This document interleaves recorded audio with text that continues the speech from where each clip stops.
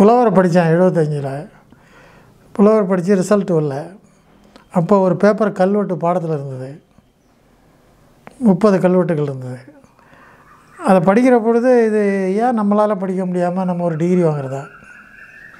அப்படின்னு இது அரண்மனையில் இருக்கிற தொல்பொருள் ஆய்வுத்துறையில் வந்து தொடர்பு கொண்டேன். அவர் நடன காசிநாதன் ஒருத்தர் இருந்தார். உங்களை மாரி இளைஞர்கள் தான் எங்களுக்கு தேவை. அப்படின்னு சில புத்தகங்கள் கொடுத்தாரு. இந்த உயிர் எழுத்து மெய் எழுத்து எல்லாம் எழுதி காமிச்சார். அதை எழுதி எழுதி பார்த்தேன். அந்த நோட்டெலாம் மேலே இருக்குது அது காமிக்கிறேன் உங்களுக்கு. அப்புறம் கோயிலில் போய் படித்தேன். ராஜராஜனுடைய எழுத்தை நம்ம வந்து படிச்சிட்டோம். அப்போ நம்ம புலவர் தான். அது தமிழாக்கம் செஞ்சு படிக்காமல் அந்த மூலத்தையே படிக்கிறோம். இப்போ அவர் நம்ம மனதில் வாழுறார். அந்த ஈடுபாடு. அது இலக்கியத்தோட நான் தொடர்புப்படுத்துவேன் இந்த தொடரலாம் இப்போ சொன்னேன்ல நேர் நேர் தேமா அதுமாரி அது அப்படியே நடத்தணும்னா பையன் வியந்து உட்காந்துருப்பான் வகுப்பறையில் ஒரு ஒரு ம ஒரு மணியோட ஒரு வகுப்பு போகாது எனக்கு. மினிமம் ரெண்டு ஹவர் போவோம் எனக்கு இல்லாட்டி மூணு ஹவர் போவோம் மற்ற வாத்தி கவலையே பண்ண மாட்டான். ஒரு யூனிட்டை தெளிவாக சொல்லிட்டு தான் வருவேன். அது கடைசியாக ஆர்கியலாஜிக்கல் இன்க கல்வெட்டு சான்றை போட்டுருவேன். இந்த மாதிரி குறிப்பு எடுத்துகிட்டு போயிடுவேன் அங்கே போட்டுருவேன். இது வந்து உரிச்சொலுக்கு கல்வெட்டுலேயும் உரிச்சொல் தொடர் இருக்குது சின்டாக்ஸ் இதுலேயும் உரைநட கல்வெட்டில் இருக்குது எழுவாய் இருக்குது தஞ்சாவூரில் இருக்குது பெரிய கோயிலில் இருக்குது நீயும் பெரிய கோயிலுக்கு போகிற இதை பார்த்தியா அப்படின்னு அப்படியே உட்காந்துருப்போம். வேலைக்கு வந்த பத்து நாளில் இனி எந்த ஒரு அதெல்லாம் ஒன்றும் கேட்டது கிடையாது. நேராக போய் பாடம் தான். நல்லா என்ன செவர் போர்டை மூணாக இருக்கிற மாதிரி பிரிச்சுக்கிறது மூல பாடத்தை எழுதுறது அண்மை கால எடுத்துக்காட்டு உரையாசிரியர் சொல்கிறது பின்னாடி தொல்லியல் சான்று. இப்படி அப்படியே நடத்திக்கிட்டே வரலாம். அந்த காலகட்டத்தில் தொல்லியல் சான்று கரெக்டாக இருந்துச்சா?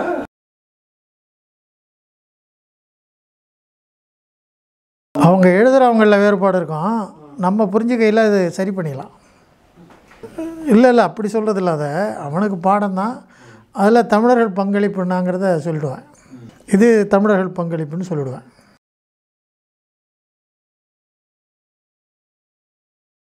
கொஞ்சம் கொஞ்சம் போகிற இடமெல்லாம் தெரிஞ்சுக்கிறது. இதுக்காக ஒரு பயணம் போல். புலவர் தேர்வு மா மார்ச்சில் எழுதியாச்சு. ஜூனில் தான் தேர்வு முடிவு வரும். ரெண்டு மாதம் லீவ் இருக்குது இப்போ திருப்பி இந்த தொல்பொருள் அலுவலர்கிட்டே வந்தேன். அப்போ நாகசாமி வந்தார். அவர்கிட்ட அறிமுகப்படுத்தினாங்க. அவர் புத்தகமெல்லாம் அந்த அலுவலகத்தில் கிடச்சி படித்ததை அவர்கிட்ட சொன்னேன். அப்போ நான் மேலே தெரிஞ்சுக்க ஆசைப்பட்றேன். ரெண்டு மாதம் சும்மா தான் இருக்க போகிறேன்னு நாங்கள் ஒரு கோடைக்கால பயிற்சி நடத்துகிறோம் அது வந்து கல்லூரி ஆசிரியர்களுக்கு தான். அதுக்கு முந்நூறுரூவா ஸ்டைஃபண்டு. சாப்பாடு மத்தியானம் கொடுத்துருவோம். இதில் ஒரு ஒரு வாரத்துக்கு எங்கே அழைச்சிட்டு போய் அந்த இடங்களை காமிப்போம். உங்களுக்கு வந்து ஸ்டைஃபண்டு தர முடியாது. நம்ம அலுவலகத்திலே தங்கிக்க வெளியில் சாப்பிட்டுங்க. இவங்களோடய நீங்கள் எங்களோடய டூர் போகிற இடத்துக்கு அழைச்சிட்டு போகிறோம் அதுக்கு காசு கட்ட வேண்டாம் அப்படின்னு சொன்னார். சரின்னு சொல்லிட்டேன். முதல்ல நம்ம மந்தவெளியில் கா கால்வாய்க்கரை சாலைன்னு ஒரு கட்டடத்தில் இருந்தது. வாடகை கட்டடத்தில். தமிழ்நாடு அரசு தொல்பொருளை அதில் மேலே ஒரு லைப்ரரியும் அந்த மாரி இடமும் இருந்தது. இதில் தங்கிக்க போன்ட்டார். அப்போ நாற்பது பேர் பயிற்சி விட போனோம். எல்லாம் பேராசிரியர்கள் தான். அவங்கெல்லாம் அப்படியே அசைவாங்க. நான் நோட்டை போட்டு எழுதிடுறது இல்லை வகுப்பில் நடத்துகிறாங்கல்ல அந்த வரி அதை நோட்டில் எழுதி அவர்கிட்ட எழுதி காமிப்பேன். அப்போல்லாம் அவ்வளோ புத்தகங்கள்லாம் வரல. இது உயிர் எழுத்து. மெய் எழுத்து. இது உயிர்மெய் எழுத்து. இது ரெண்டு மூணு பக்கம் வரும்.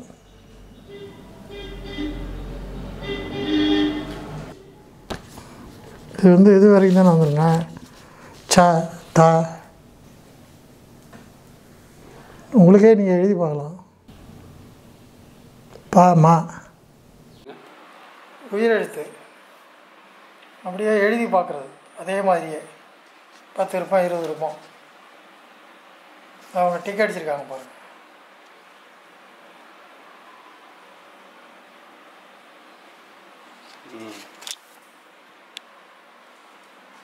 அதே தான் அவங்க டிக் அடிச்சிருக்காங்க. வரி வடிவம் ஒன்று தான் எழுதி கொண்டு அவங்கள்ட்ட காமிக்கணும். இந்த திருத்திருக்காங்க பாருங்க. எழுபத்தி நாலு சம்பர் இருக்கு. எழுபத்தி அஞ்சு சம்பர்.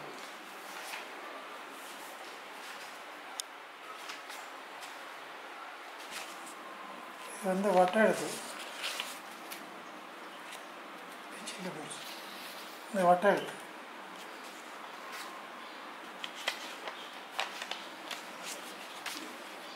இது உயர்மை எழுத்து நல்லா தேய்த்திருக்காங்க பாருங்க.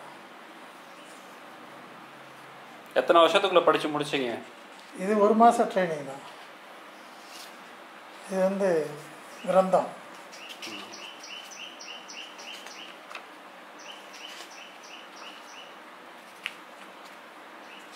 இதில் இந்த கிரந்தம். எல்லாம் மாற்றி தேத்தி கொடுத்துருவாங்க பாருங்க. டிகிரி ஃபைனல் இயர் சம்மர் வெக்கேஷனில் படிச்சது நல்லா தேத்திக்காங்க இதுதான் இப்போ எனக்கு மூல பாடம். என்ன நிறைய பிரிண்டட் புக் வந்திருக்கு இப்போ. இது வட்ட எழுத்து நல்லா திட்டிருக்காங்க பாருங்க யார் இது? திருத்தினது யார்? அவங்க ஆர்கியாலஜி டிபார்ட்மெண்ட் ஆளுங்களே. ஆமாம் காலேஜ் வாத்தியார் கிடையாது. ஆர்கியாலஜி ஆர்கிட்டு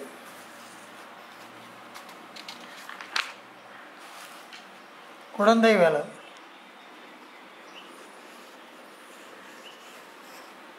வட்ட எழுத்துக்களில் தெளிவில்லைன்னு எழுதுறாரு பாரு கரெக்ஷன்லாம் வேணும் புதுசாக தானே நம்ம எழுதுகிறோம் நம்ம டிபார்ட்மெண்ட் வேறு அதே மாதிரி எழுதி ஒரு தாள் கிழிஞ்சிருக்கு ம். முதல்ல வாடகை வீட்டில் அடிக்கடி மாற்றினது இப்போ தான் நிரந்தரப்படுத்தியிருக்காங்க. குறிப்பு நிறையா கிடக்கும். இதான் எனக்கு அடிச்சு மாதிரி.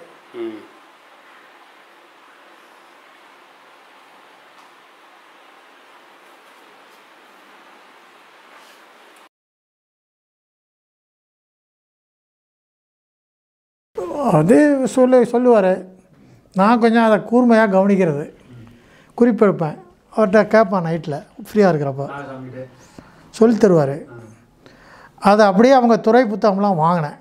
மேலே இருக்குது அவங்க இதழ் நடத்துனாங்க கல்வெட்டுன்னு. காலாண்டு இதழ்னு. அதை பூரா வாங்கிடுவேன் படிப்பேன். முதல் இதழ் இது. தொல்புலாய்த்துறை வெளியிட்ட. முதல் கல்வெட்டு இதழ். ஒரு ஆண்டுக்கும் இப்போ பைண்ட் பண்ணி வச்சுருக்கேன். இதழ் ஒன்றுன்னு போட்டுக்கோங்க. எழுபத்தி நாலு இது வந்து கலைஞர். அவரே எழுதினது இதை வச்சுட்டு அவர் எழுதுறாரு. ஏன் முதல் கட்டுரை அவர் தான் அவர் முதலமைச்சர்ல இப்போ எழுபத்தி நாலில் என்னை கவர்ந்த கல்வெட்டுன்னு? இந்த விஷயத்தை அவர்கிட்ட கொடுக்குறாங்க. அவருக்கே ஒரு பாணியில் எழுதியிருக்காரு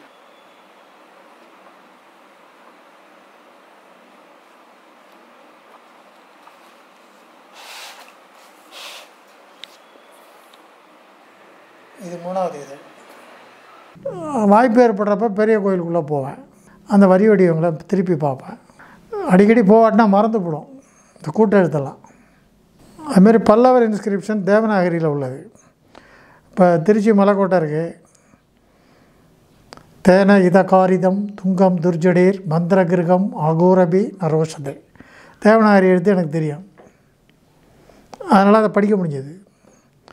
நான் இந்த கோ திருக்கோயிலை குடைவதற்கு காரணம் இங்குள்ள மக்கள் சகல நன்மையுடன் வாழ்வாக. அப்படின்னு தமிழில் அதுக்கு பொருள். நகேந்திரனுடைய எழுத்தது. அது சான்ஸ்கிரி டிக்ஷனரியை வச்சு அந்த மீனிங் பார்த்துவேன் தெரிஞ்சு வரேன் ஒரு திருப்பத்துக்கு நாலு திருப்பம் பிறகுனா முடிஞ்சு போடும். சரி மகேந்திரவர்மனை படித்தாச்சு மகேந்திரவர்மன் ஹிஸ்ட்ரியில் அதை பற்றி எழுதுவேன். அந்த ப- பல்லவர் காலம் வந்துச்சுன்னா இந்த கல்வெட்டை எழுதி போட்டுருவாங்க. பசங்கள்கிட்ட அந்த திருநாவுக்கரசர். கோயில் மக்கள் பயன்பாடுங்கிறதுல தேவாரத்தில் என்ன ரெஃபரன்ஸ் திருநாவுக்கரசரும் மகேந்திரவர்மன் நண்பர்கள். அதை அப்படியே ரெண்டையும் ஒப்பிடுவேன். அப்படியே மலைச்சு உட்காந்துருப்பான் அவன் எவ்வளோ எடுத்துக்கிட்டான்னு சொல்ல முடியாது. நிறையா தயாரிப்பானான் தயாரிக்காமல் வகுப்பு போகிறது கிடையாது எங்கள் எனக்கு திருவையாறில் சொல்லிக் கொடுத்த ஆசிரியர்களும் அப்படி.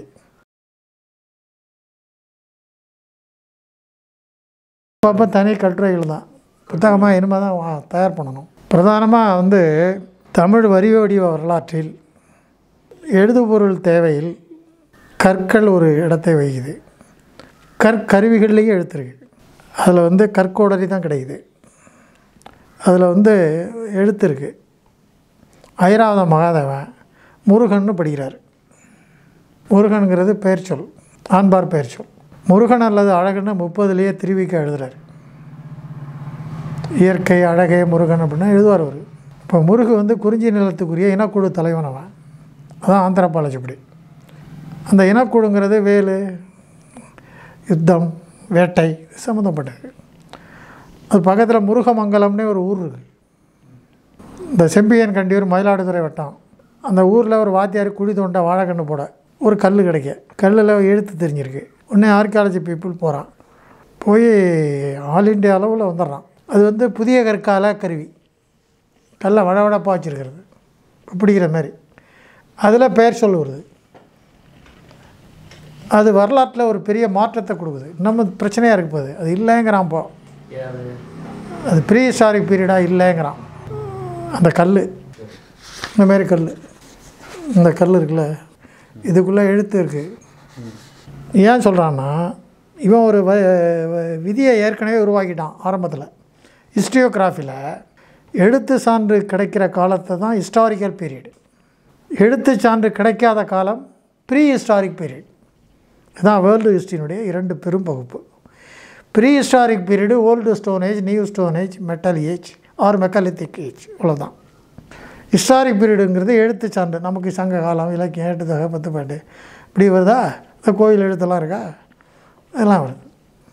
அப்போ இந்த கருங்கல் வந்து புதிய கற்காலத்து கல் இது புதிய கற்காலத்து கல்லில் எப்படி வரி வடிவம் வரும்? இந்த வரலாற்று பிரித்தான்ல ரெண்டா? அதன்படி இது தப்பாக இருக்குன்னு முடிவை மாற்றுறான் ஆனால் தமிழ் எழுத்து இப்போ போட்டோ எடுத்துல இந்த வடிவத்தில் இருக்குது. அதை முருகன்னு படிச்சிருக்காரு. தமிழ்நாடு அரசு சிறப்பு இதழே போட்டிருக்கான் கல்வெட்டை. நம்ம ஸ்ரீதர் கையில் போட்டான். அந்த துறையிலே கிடைக்கும் அது. இங்கே மேலே கூட இருக்குது அது வந்து முருகன்னு படிக்கிறார். நான் கூடுதலாக அந்த பகுதியை போய் பார்த்த பிற்பாடு பக்கத்து ஊரெல்லாம் கேட்டால் முருகமங்கலம்னே ஒரு ஊர் பேர் இருக்குது அந்த கல்லில் முருகன்னு இருக்குது அதில் கூட இருக்கும்னு நினைக்கிறேன்.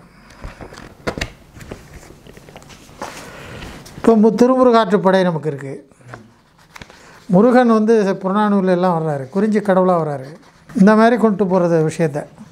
தேடி பிடிக்கிறது. அதெல்லாம் குறித்து வச்சுருக்கேன். இது நெட்டில் அன்றைக்கி வாங்கிட்டு வந்தேன். உங்கள் ஆர்கியாலஜி பீப்புள்கிட்டே வாங்கிட்டு வந்தேன். கொடுங்கய்யான்னு. இந்த இருக்கு பாருங்கள் ஆயிராவத மகாதேவன் அவர்கள் முருகு என்றும் அன் என்றும் பொருள் கொண்டுள்ளார். பிற இரண்டு எழுத்துக்களுக்கு ஒலிப்பு விளக்கம் பெற முடியவில்லை என்றும் சுட்டியுள்ளார். இச்சான்றுகள் தமிழரின் சிந்துவெளி தொடர்பை வெளிப்படுத்துகிறது. வீரநில வாழ்வு வீரப்பெயர் முருகு என்ற பதிவு கற்கோர் கற்கோடரியலில் அறிய முடிகிறது. முருகழு குறிசில் செரும்பு விசே எனவும் சங்க நூற்கள் பதிவுறுத்த மேற்குறித்த கைக்கோடரி சான்று பொருத்தமாக உள்ளன. மயிலாடுதுறை வட்டம் செம்பியன் கண்டூர் பிப்ரவரி இருபத்தி ஆறு. கிமு ஆயிரத்தி ஐநூறு ஆண்டுகளுக்கு முற்பட்ட எழுத்துக்கள் காணப்படுகிறதென்றும் இவை சிந்துவெளி நாகரிக எழுத்துக்களோடு ஒத்துள்ளது என்றும் இவற்றுடன் இரும்பு காலத்தை சார்ந்த தாழிகளும் கிடைத்துள்ளன. இவை புதிய கற்காலத்தின் பிற்பகுதிக்கும் இரும்பு காலத்தின் ப்ரீ அயனேஜ் இடைப்பட்ட காலத்தை சார்ந்ததாக கிமு ரெண்டாயிரம் முதல் கிமு ஆயிரம் அல்லது ஆயிரத்தி ஐநூறு கால வரம்பிற்குட்பட்டதாக குறிப்பிட்டுள்ளார். அந்த ஊருக்கே போனேன்.